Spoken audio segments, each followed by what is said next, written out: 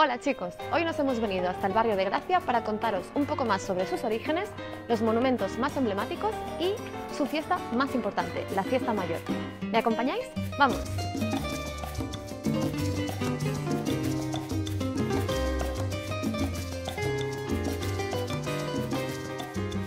El distrito de Gracia está formado por diferentes barrios, Vallcarca y els Alcoll, La Salud, el Camp d'Engrasot y el más famoso, Gracia, que lleva el mismo nombre que el distrito. Bueno, en realidad el nombre oficial es Vila da Gracia. Vila significa en catalán pueblo, y es que este territorio era antes una pequeña población separada de la ciudad de Barcelona. La creación de la Champla, con el plan ideado por Hilda Fonsardá y también la construcción del Paseo de Gracia para unir la villa con eh, la ciudad de Barcelona, propició que finalmente se anexionara a la ciudad de Barcelona en el año 1897. Antes de su anexión, la zona era una zona de pastos, una zona agrícola. También había diferentes conventos y además varios miembros de la burguesía catalana que vivían en Barcelona construyeron aquí sus casas de residencia.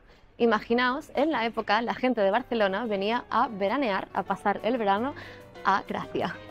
Gracia es uno de los pocos barrios de Barcelona, junto con el de la Barceloneta, que tiene escudo propio. Es este que podéis ver aquí. son tres lirios blancos con un fondo azul, que recuerda eh, los conventos que había en el barrio.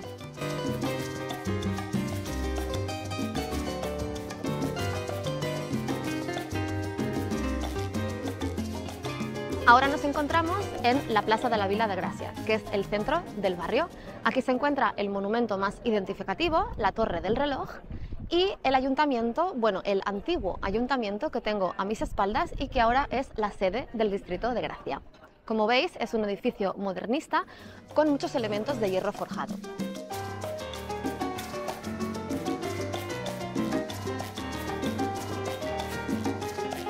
Muy cerquita de Plaza de la Vila se encuentra Plaza del Sol, donde estamos ahora. Esta plaza reúne a gente de todo el barrio para tomar algo, hacer un vermut o reunirse por la noche. De hecho, un sábado por la tarde es imposible encontrar sitio en alguna de sus terrazas, tanto que la gente se sienta aquí en el suelo a tomar una cerveza bien fresquita y cantar canciones con la guitarra. Lo ideal para visitar Gracia es perderse entre sus calles. Paseando seguro que llegas aquí, a la calle Verdi, que es famosa por los cines Verdi, que proyectan películas en versión original con subtítulos en español.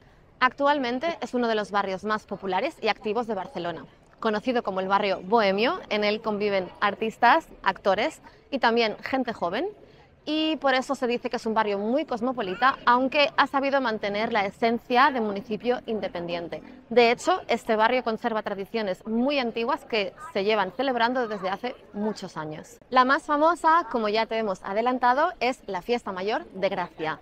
La primera vez que esta fiesta está documentada es en el año 1817, cuando Gracia todavía era un municipio independiente.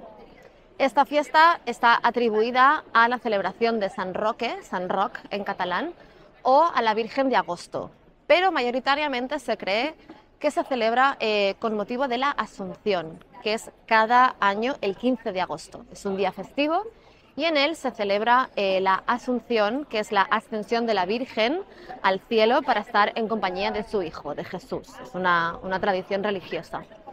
Eh, las primeras celebraciones tenían como motivo principal las procesiones de la Virgen. Las calles se decoraban con motivos eh, vegetales, con flores, que recordaban los salones eh, de baile de la época. Con el paso de los años, la fiesta ha ido evolucionando y lo que antes eran tan solo calles decoradas con motivos florales, ahora se decoran con diferentes temáticas, algunas muy actuales. Los vecinos de esa misma calle se preparan durante todo el año utilizando materiales reciclados, todo hecho a mano, para participar en el gran concurso de calles decoradas de la fiesta. Este año participan 23 calles, pero nosotros te recomendamos que no te pierdas las calles Verdi y Mozart, ya que suelen tener las decoraciones más espectaculares y además han ganado varios años el gran concurso. Otro elemento muy importante es la música. Durante toda la semana encontrarás conciertos en diferentes calles o plazas donde podrás disfrutar de un buen concierto. Los más concurridos son los de rumba catalana. Y es que a pesar de que este género se creó originalmente en el Raval, en Gracia también tiene mucho peso, ya que aquí existe una comunidad gitana muy importante. os recomendamos no perderos el concierto del grupo Arrels de Gracia que tocan todos los años.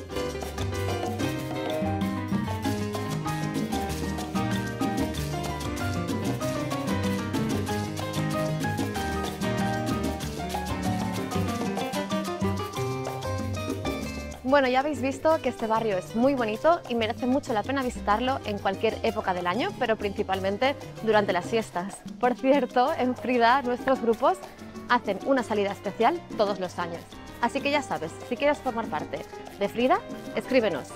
Nos vemos en Barcelona. Chao.